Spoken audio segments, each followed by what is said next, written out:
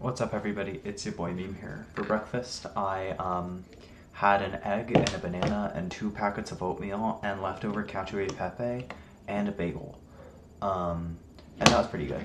Uh, for lunch, I didn't really have anything, and for dinner, we had uh, oven pizza, and that was tasty. Oven pizza, frozen pizza, but it wasn't frozen. It was in the fridge, but it was pizza you buy from a store and then put in the oven.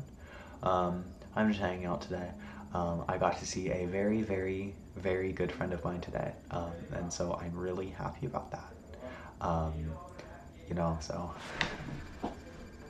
uh, things are things are good because of that.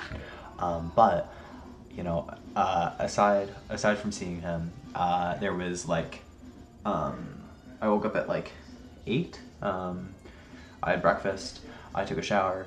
Um, you know, uh, and then when I got home, uh, I cleaned my shirts. They're hanging up and drying right now. I have one shirt left for tomorrow for school, uh, and I don't know if you can see it. Oh yeah, it's behind my jeans. But behind my jeans is my dirty shirt. So, yeah. Uh, for what? Um, yeah. Then for dinner, I had that pizza, and yeah, nothing's nothing's really been going on today.